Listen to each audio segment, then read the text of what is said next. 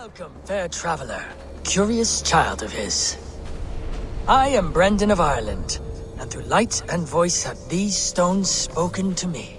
Here lies the markings of him, where a second voice, higher than most, spoke to me again. Listen to all I have learned through prayer. Long ago was a great and tragic war. The offspring of gods who lived before the deluge.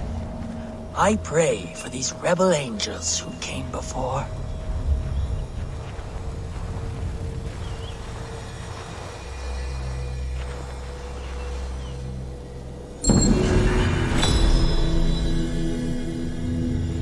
What strange forces work here?